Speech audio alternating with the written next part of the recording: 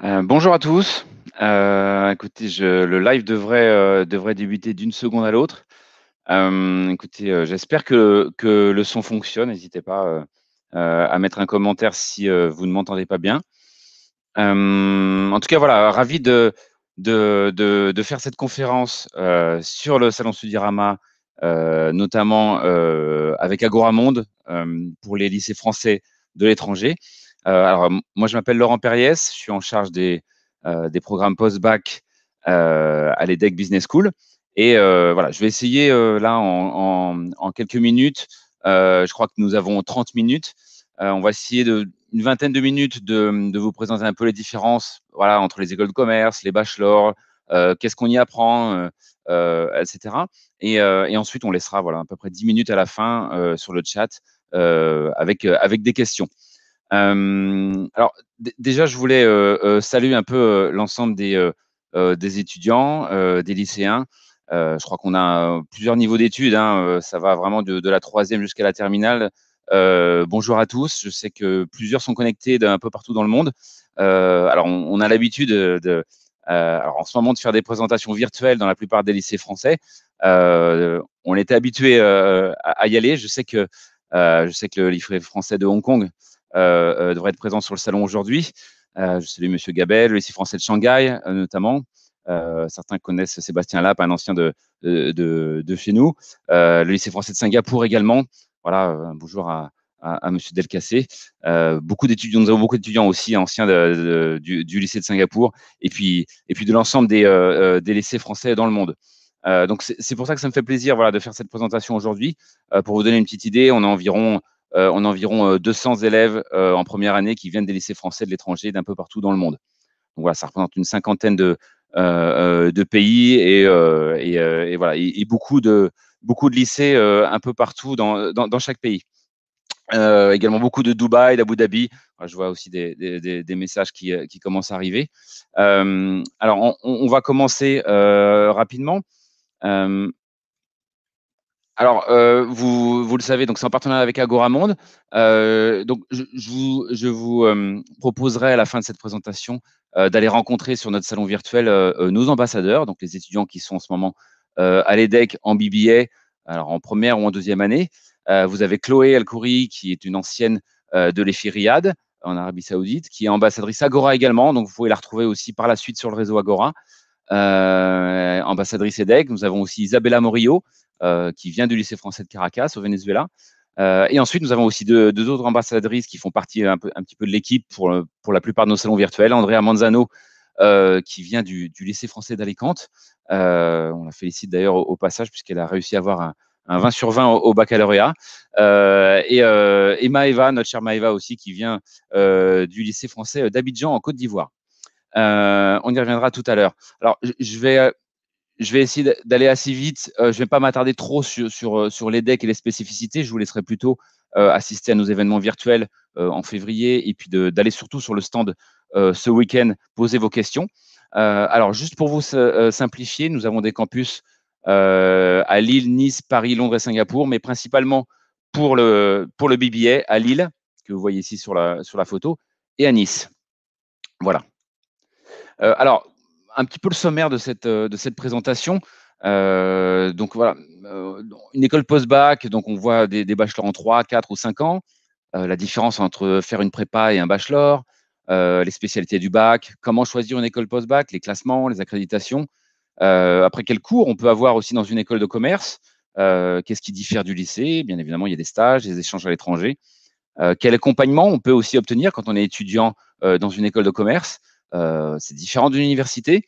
Euh, ce qui fait partie aussi du thème de cette conférence aujourd'hui, c'est euh, comment je peux créer ma start-up grâce, à une école de commerce.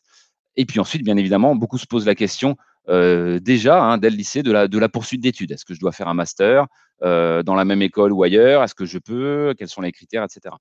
Quels, sont les débouchés après, voilà, avec une école de commerce? Donc quel métier? Euh, quel métier je peux, euh, je peux, euh, je peux trouver et quel métier je peux obtenir. Et, et enfin, voilà, comment je peux contacter les anciens élèves du, du réseau AEFE. Alors, on va débuter tout de suite. voilà, donc différentes formes de bachelor en 3, 4 ou 5 ans. alors, trois ans, c'est le format un peu, on va dire, plutôt britannique. voilà, que, vous retrouvez au Royaume-Uni. Il y a certaines écoles de commerce aussi qui le font en trois ans. Alors, forcément, le format trois ans par rapport au format quatre ans que, les DEC proposent, comme, comme d'autres écoles, bah forcément, on a un an de moins. Donc, donc on a moins d'expérience professionnelle et, moins de, durée passée euh, à l'étranger.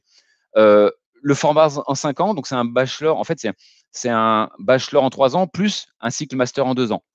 Donc voilà, donc c'est euh, 3 plus 2. Voilà. Euh, et ensuite, vous avez le format en 4 ans, donc, que je vais vous présenter aujourd'hui, qui s'appelle le BBA, le Bachelor in Business Administration, qui est, qui est en fait le format qui est le diplôme de gestion le plus répandu dans le monde.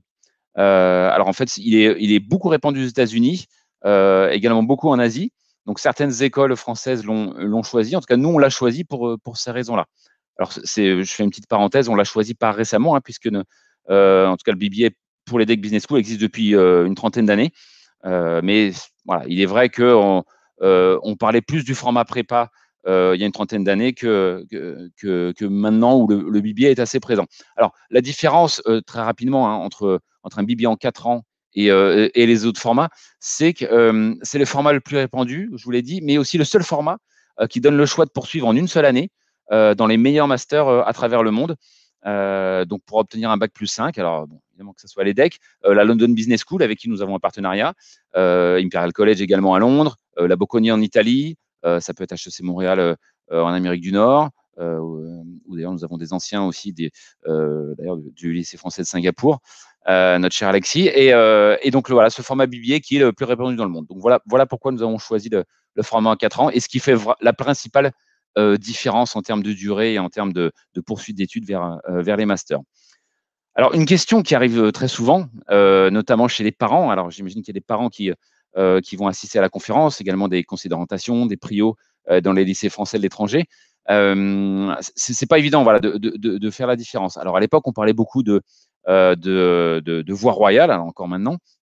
Euh, seulement des voies royales, il en existe deux maintenant, euh, qui sont deux, vraiment deux parcours différents juste après le bac, mais qui au final peuvent se retrouver en dernière année de, master. Donc voilà un, petit schéma qui, qui résume surtout le choix que vous devez faire et que vous ferez peut-être en fin de terminale. Est-ce que je me dirige directement vers une école post-bac ou est-ce que je fais une prépa? Alors, vous le voyez, sur la première ligne, le BBA, c'est 4 ans d'études juste après le bac. et donc, j'alterne un peu la théorie et la pratique, on va le voir tout à l'heure, c'est-à-dire j'alterne les cours, mais également les stages en entreprise, et ce, dès la première année. Et vous voyez que chaque année, vous voyez en rose, il y a des stages à effectuer au sein, au sein du BBA. Euh, et ensuite, on le voit à la fin, si vous voyez le, petit, euh, chapeau euh, et le diplôme, je peux rejoindre après les quatre années un master, ce qui s'appelle un Master of Science, je vais, je vais l'expliquer un peu après, un master, donc un bac plus 5, soit à l'EDEC, soit dans une autre école, comme je vous l'ai dit tout à l'heure, que ce soit à Londres, que ce soit à la Bocconi, que ce soit un peu partout dans le monde. et dans ce cas-là, si je rejoins, notamment en France, puisque la, prépa n'existe qu'en France, si je rejoins euh, euh, en, cinquième année le, master, euh, par exemple à l'EDEC, ben, je vais être mélangé avec les autres élèves qui ont fait une prépa et ensuite qui ont intégré ce qu'on appelle la grande école avec le master 1 et, et, ensuite le master 2. Si je fais une prépa, je m'oriente au début de mes études plutôt sur de la théorie. C'est-à-dire pendant les deux années, vous voyez un petit peu en bleu, je vais faire essentiellement de la théorie.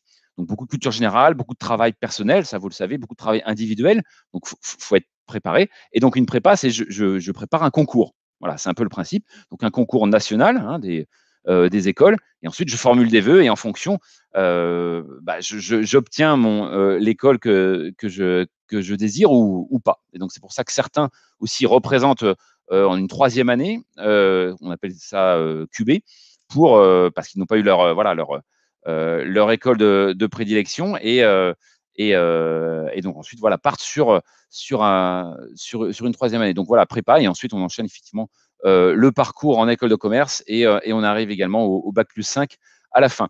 Alors principalement les, trois points que vous voyez un peu sur le slide, c'est que par rapport à une prépa juste après le bac, faire un BBA, bah, c'est être dans un environnement international avec des, avec des étudiants anglais, étrangers, anglophones de tous les pays. donc la possibilité de, parler anglais et d'étudier en anglais également, la possibilité de faire des stages aussi chaque année, et de faire notamment aussi des, groupes, ce que l'on ne fait pas ou très peu en prépa. je passe ensuite aux spécialités. alors, je ne vais pas toutes les détailler. sachez qu'on est assez ouvert en école de commerce sur les spécialités à choisir en première et en terminale. je vous ai mis quelques statistiques. En première, donc ça, c'est la source du, ministère de l'enseignement supérieur. les mathématiques arrivent en première position dans les, spécialités les plus demandées en première. et ensuite, voilà, les, sciences économiques. Donc, mathématiques, sciences économiques, c'est effectivement ce qu'on se retrouve le plus dans les anciens bacs, dans une école de commerce, à peu près moitié, moitié filière S, moitié filière ES. Euh, et puis ensuite les, autres spécialités. Euh, et en terminale, on retrouve un petit peu près euh, le même schéma, même si on sait que beaucoup d'entre vous abandonnent la spécialité mathématique en fin de première alors, pour en choisir d'autres. et puis certains aussi, vous savez qu'il y a le, choisissent l'option mathématique complémentaire, ce qui peut être aussi une, une bonne solution, puisque c'est une option et vous avez trois heures d'enseignement de, par, par semaine. Alors, nous, on préconise pas euh, euh, euh, une spécialité plutôt qu'une autre. C'est sûr que les mathématiques, c'est important dans, les, dans des cours comme la finance, la comptabilité et même les études, les quantitatives, marketing notamment. mais c'est pas voilà, pas forcément une obligation de prendre maths en première ni en terminale, mais il est conseillé de prendre plutôt maths soit en première, soit en terminale. et ensuite, les autres spécialités seront en fonction euh, de, vos notes également. Donc pensez, bien aussi, euh, quand vous abandonnez une spécialité, euh, il faut garder, bien évidemment, pour le dossier Parcoursup, les spécialités dans lesquelles vous, êtes, vous avez les meilleures notes, puisque le dossier Parcoursup va reprendre vos, notes de, première et de terminale. Donc voilà, donc pour résumer, un conseil sur les mathématiques, et ensuite, à vous de voir. Bien évidemment, si vous prenez également sciences économiques, vous aurez un avantage au moment d'entrer, par exemple, à l'EDEC, mais ça ne, ça ne jouera pas sur votre, sur votre admission. Euh, très important aussi quand vous choisissez euh, une école de commerce, c'est les classements et les accréditations. Euh, donc, vous le voyez, je ne vais pas rentrer dans les détails, mais il y a la triple accréditation MBA, à MBA, donc pour, pour, les, pour les cursus MBA, et, CSB qui est le format, l'accréditation américaine, et ensuite EQUIS qui est l'accréditation européenne. Donc, donc, vous le savez, voilà, très peu d'écoles de commerce dans le monde, puisqu'on parle des 1%, obtiennent cette triple accréditation. L'EDEC en fait partie, euh, d'autres écoles également. Donc voilà, quand vous choisissez des écoles de commerce, regardez bien les accréditations. Euh, donc plus récemment, on a euh, le, grade de licence. donc c'est comme le visa en fait, mais avec beaucoup plus de critères. Donc c'est, assez récent. Je ne vais pas rentrer dans le détail, mais donc c'est un, c'est un, une accréditation en plus qui est accordée par l'État. Alors pas toutes les écoles, hein, puisque sur cette année, 60% euh, des écoles qui, ont postulé euh, n'ont pas obtenu euh, ce grade, cette reconnaissance de l'État. Donc, nous, on en fait partie. Et ensuite, vous avez aussi le label EXPIG aussi, qui, est, qui donne un gage de, qualité aux écoles de commerce. Donc voilà, donc regardez toutes ces accréditations, ces classements. ensuite, on a des classements de programmes. alors, sur le BBA, on, a été classé numéro un par le magazine Challenge euh, de l'ensemble des, des, cursus post-bac en 4 ans, donc format BBA en France. Euh, et, également numéro 1 pour les nombres de mentions bien ou très bien au baccalauréat 2019, avec plus de deux tiers de nos, de, nos élèves de première année. Donc ça, c'est aussi important de regarder les classements parce qu'ensuite, une, entreprise, quand elle va, quand vous allez postuler à la fin de votre cursus, euh, eh bien, va regarder aussi de quelle école vous venez. Est-ce que l'école est présente dans des classements et, également dans les classements internationaux. Donc ça, c'est le deuxième point sur, euh, euh, sur nos masters. Euh, sur, sur la plupart de nos masters à l'EDEC, nous avons des classements soit de numéro 5 mondial pour notre master en finance, euh, numéro 7 mondial pour notre master en marketing. Et, ça, c'est important parce qu'après, si vous prévoyez de partir à l'étranger, alors la plupart d'entre vous viennent des lycées français à l'étranger, donc j'imagine que vous avez une envie aussi de, continuer à expérimenter à l'étranger, à l'international. C'est pour ça que souvent le format BBA vous intéresse le plus. Euh, mais c'est important aussi voilà, de choisir une école avec des, euh, des, classements internationaux qui vous permettront après de, bah, de vous assurer une place euh, en entreprise avec, en corrélation avec votre formation. Alors très rapidement, encore une fois, au niveau des cours que vous pouvez obtenir dans une école de commerce, alors j'ai mis une petite flèche sur les cours d'entrepreneuriat, puisqu'on peut créer son entreprise soit pendant son cursus, soit par la suite. Et en tout cas, l'EDEC propose des, services qui, accompagnent. Donc voilà, donc plusieurs exemples de, cours. Donc c'est des cours qui sont la plupart différents de, ce qu'on trouve au lycée. vous avez voilà du marketing, de la finance. Alors vous avez quand même de la science politique, géopolitique, mais également du droit des affaires, de l'économie internationale, etc. mais vous pouvez avoir aussi ce qu'on appelle des électifs, c'est-à-dire des, cours optionnels. ça peut être de la psychologie du sport, ça peut être du, coding, ça peut être voilà, ça peut être du sport, des, sciences politiques, etc. Donc vraiment des, cours qui diffèrent du lycée. On le verra dans les dans, les questions tout à l'heure, mais avec beaucoup de place pour les, travaux de groupe. Pour les travaux dirigés, les TD. bien évidemment, vous pouvez apprendre aussi des langues optionnelles, hein, donc deux langues obligatoires, première langue, deuxième langue, et ensuite vous pouvez aussi partir sur une troisième langue, voire une quatrième langue. notre laboratoire de langue en propose 12 et vous pouvez être associé aussi en, binôme avec euh, un étudiant qui, qui, sera en échange, euh, par exemple, euh, pour prendre l'exemple de l'EDEC, pour, pour encore plus vous immerger dans, dans cette langue. le principe aussi des écoles de commerce ou des formats BBS, c'est que sur quatre ans, en général, les deux premières années, ce sont des matières générales voilà, que, vous ne connaissez pas encore, que vous apprenez au fur et à mesure, les bases, un petit peu, les fondamentaux, et ensuite vous vous spécialisez. Donc, par exemple, vous pouvez vous spécialiser en troisième année en, marketing, puis en quatrième année en marketing de luxe, ou alors, euh, ou en finance et ensuite en, en, banque et gestion de patrimoine. Euh, ou encore effectivement euh, en marketing et en entrepreneuriat parce que vous avez votre idée de créer votre entreprise et vous pouvez déjà avoir des cours ou en tout cas des enseignements pendant l'école qui vous permettront de, vous aider à développer votre, votre entreprise. Et bien évidemment, tous ces cours sont également disponibles en anglais. quand vous êtes en école de commerce, euh, vous êtes susceptible évidemment de, euh, euh, de partir en échange ou en double diplôme à l'étranger. alors ça peut être six mois, un an, ou alors dans d'autres cursus notamment qu'on propose, même, même un peu plus longtemps. Donc les échanges, c'est je pars six mois dans une université. Donc là, je vous ai mis quelques exemples, mais par exemple, à l'EDEC, on en a un peu plus de 160 dans, dans, dans 40 pays. Donc, ça ne sera pas avant la deuxième ou troisième année principalement. vous pouvez avoir la Bocconi, qui est, qui est très réputée, King's College à Londres aussi, qui est, euh, très bien classé mondialement, euh, et puis d'autres universités, que ce soit en Amérique du Nord, euh, au Japon, en Australie, un petit peu partout. donc là, vous allez partir six mois en échange, mais vous pouvez également aussi obtenir un double diplôme pour certaines universités en particulier, et du coup, vous avez le double diplôme de cette université plus celui de, votre école de commerce.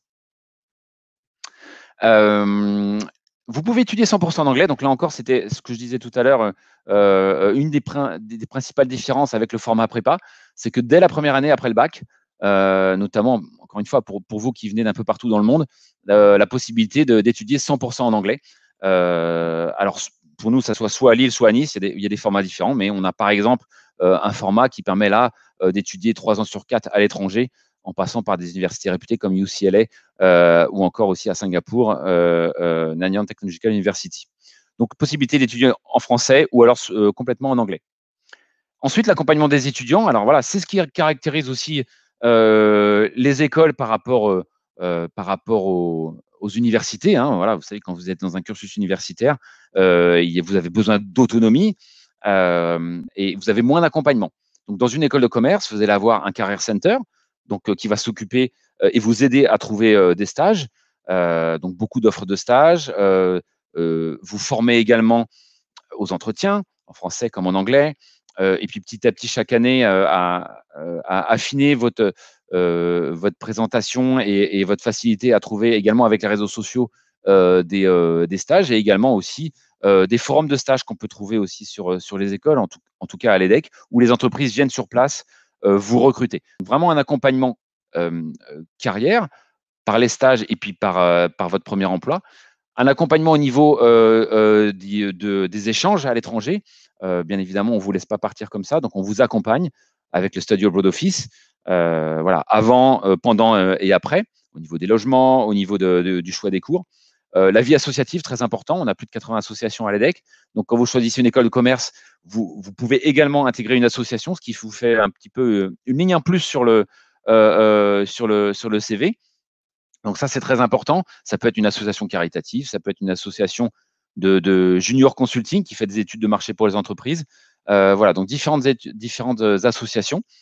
Et vous avez également des incubateurs, on va parler juste après, où là, vous pouvez vraiment développer votre, votre idée de startup et, et nous vous accompagnons dans votre, dans votre, dans votre étude jusqu'à la réalisation de votre, de votre startup. alors donc justement, comment créer son entreprise? En tout cas, à l'EDEC, on a un service qui s'appelle EDEC Entrepreneur. Donc nous avons des incubateurs, c'est-à-dire l'endroit où vous pouvez créer votre entreprise, à Lille, Nice et également à Paris, à la station F, où vous allez pouvoir créer votre entreprise. Nous allons vous accompagner, vous aider à, pitcher aussi votre projet, donc à le résumer en, une ou deux minutes pour, convaincre eh bien, soit des investisseurs, des sponsors, et en tout cas pouvoir créer véritablement votre entreprise avec votre idée. donc voilà, un petit mot sur, sur l'entrepreneuriat. vous en avez chaque année en école de commerce et notamment à l'EDEC. Et un exemple voilà, d'entreprise que vous devez connaître, c'est Yuka, que vous voyez sur cette slide, qui est, est, qui est une application pour scanner des, aliments et maintenant des cosmétiques qui a été fondée par Julie Chapon, donc une ancienne de l'EDEC, il, il, y a seulement trois ans, je crois, de mémoire et qui maintenant est un peu présente un peu partout dans le monde avec plus de 20 millions d'abonnés. Donc Station F, c'est aussi là, là où on est présent, c'est aussi le, le plus grand incubateur au monde. Alors bien évidemment, en école de commerce, et je vais accélérer un petit peu, on a la vie sportive. Euh, ça aussi, c'est l'avantage de, profiter des, infrastructures. Et, euh, et, si je prends par exemple le, notre exemple du, campus de Lille, nous avons près de 9 hectares, donc avec, euh, voilà, avec des infrastructures, des bâtiments sportifs, une piscine, etc. Donc une, une, application mobile pour vous inscrire au cours de sport, du crossfit, des équipes dans les différents championnats universitaires également. Donc, et en tout cas, chez nous, ça peut vous permettre aussi d'avoir une note si vous optez pour le sport euh, en compétition, donc euh, une note qui comptera dans votre, dans votre moyenne. Un sujet, et ça va être un peu mes, mes, mes dernières présentations, un sujet sur la poursuite d'études. Je sais que vous êtes tous à vous, à vous poser la question. Donc l'avantage, comme je vous le disais au début, de faire un BBA en 4 ans, c'est que vous pouvez, en une seule année supplémentaire, obtenir un bac plus 5. Donc que ça soit à l'EDEC ou que ça soit un peu partout dans le monde. donc je reprends un exemple euh, de, notre, euh, de notre diplômé euh, J'aime quoi, donc qui est sur notre brochure, que vous pourriez télécharger bien sûr, qui a été diplômé et qui a fait un master donc en finance à l'EDEC également et qui maintenant voilà travaille aux Pays-Bas en tant qu'analyste. Et voilà, il accompagne notamment d'ailleurs des, startups dans plusieurs secteurs, notamment dans les énergies, les énergies renouvelables. Et, voilà, et, tout ce secteur d'activité, on appelle ça la finance durable. Et voilà, c'est beaucoup euh, euh, en vogue euh, en ce moment. Donc, je vous encourage à aller sur notre site pour, pour aller voir un peu plus de son témoignage, pour vous donner un petit peu d'idée de, de, de, quel, quel job je peux décrocher plus tard après mes études. Un autre exemple, alors là, les lycéens du, LFI de Hong Kong se, peut-être se, reconnaîtront. donc Nantida, qui a été diplômé l'année dernière, euh, qui a fait le parcours également 100% en anglais. Euh, elle a opté pour un, master euh, à l'EDEC en marketing, donc qui est, très bien classé au niveau mondial. Et, voilà, donc elle termine son master cette année et, en tout cas, voilà, elle, a été ravie de faire une présentation il y, a peu de temps aussi virtuellement au, lycée français de Hong Kong. Donc, donc si ceux qui sont intéressés par la contacter, n'hésitez pas master donc euh, à l'EDEC ou master dans euh, dans d'autres écoles euh, à travers le monde, des écoles de commerce françaises ou bien des écoles internationales. Donc ça peut être Imperial College comme notre diplômé Camélia, donc qui a fait un BBA en quatre ans à l'EDEC et qui ensuite a poursuivi en une année en master en climate change and finance. Donc là vraiment on est on est dans le dans le vif du sujet malheureusement en ce moment avec les dérèglements climatiques, c'est comment la finance peut euh, apporter au, défi des, changements climatiques. Euh, voilà, donc, euh, Camélia a été diplômée de, l'Imperial College et elle est d'ailleurs en ce moment, elle travaille pour une entreprise à Londres. également la Bocconi, une des universités les plus, les plus réputées également en Europe. Donc Camille qui a été aussi diplômée d'un master à la Bocconi juste après son BBA à l'EDEC. Donc vous voyez que ça peut être intéressant sur son CV d'avoir aussi un diplôme d'une école de commerce et un diplôme d'une autre, école. Je vais terminer par les débouchés. Voilà, qu'est-ce que je peux faire après euh, une école de commerce? Euh, Eh bien, je, voilà, je peux travailler autant euh, dans le marketing, autant dans la finance. Je peux être directeur des ressources humaines. Je peux être general manager chez L'Oréal, voilà, comme Jean-Guillaume Poulet. je peux travailler à Singapour chez LinkedIn en tant que directeur marketing, comme Adrien de Volkov, ou bien encore comme comme un peu plus un plus ancien Michael Burke qui est PDG monde de, Louis Vuitton. Donc voilà, donc des fonctions très, euh, très diverses et variées avec une école de commerce, que ce soit du marketing, de la finance, des ressources humaines. Euh, et donc, c'est l'avantage aussi. C'est au moment du bac, c'est de vous dire, j'ai pas besoin de tout de suite décider de quel métier je veux faire. Je peux me laisser 4 ans, voire 5 ans avec un master pour, euh, pour affiner mon, projet professionnel. Avant de passer aux questions, donc je, vous rappelle de, nos deux prochains événements au mois de février. on a une journée porte ouverte virtuelle de l'EDEC le 6 février. Euh, le 24 février, un webinaire plus axé sur les candidatures Parcoursup. Vous pouvez vous inscrire sur notre site bba.edec.edu. Euh, et bien évidemment, euh, contacter encore une fois voilà, nos, ambassadrices. c'est vrai qu'il y a que des filles ici. Chloé, voilà, ambassadrice Agora également, que vous pouvez, retrouver plus tard sur la plateforme Agora Monde. Isabella également, ambassadrice d'Agora qui vient de, Caracas. Et Andrea Manzano et, et Maeva aussi, euh, qui, ont elles aussi effectué un lycée français à l'étranger. Euh, donc, voilà un peu pour cette présentation. J'ai essayé d'aller vite, donc c'est euh, pas évident. Alors je, vois beaucoup de questions. on essaie d'y répondre au fur et à mesure. bien évidemment, il y, a, des bourses. nous proposons, voilà, l'année dernière, c'était 10 millions d'euros de bourses qui ont été versées, que ce soit des bourses d'excellence. Alors, il y a des bourses pour la mention, très bien. Euh, mais je ne vais pas trop rentrer dans le détail. Je préfère que vous allez poser les questions sur le stand, euh, sur le stand de l'EDEC. Mais on a des bourses également sur critères sociaux qui peuvent aller jusqu'à 10 000 euros. Euh, donc ça, c'est intéressant également. Donc, je, vous laisserai voir effectivement les, coûts des formations. pour une école de commerce, bah, ça varie entre, ça dépend, 10, 15 000 euros par an, sachant que ça peut aller aussi bien plus loin pour certaines écoles, notamment à l'étranger. Euh, alors, pour ceux qui ne connaissent pas les, écoles, notamment euh, les universités américaines, c'est que UCLA, si vous allez une année euh, vous-même à UCLA, ça va vous coûter 50 000 dollars environ. Donc, donc c'est vrai qu'on a toujours l'impression que les écoles de commerce en France sont très chères, mais déjà vous avez des bourses et puis c'est vraiment un investissement sur l'avenir. Donc, donc en tout cas voilà, on vous aidera en tout cas à, obtenir de l'aide à ce niveau-là.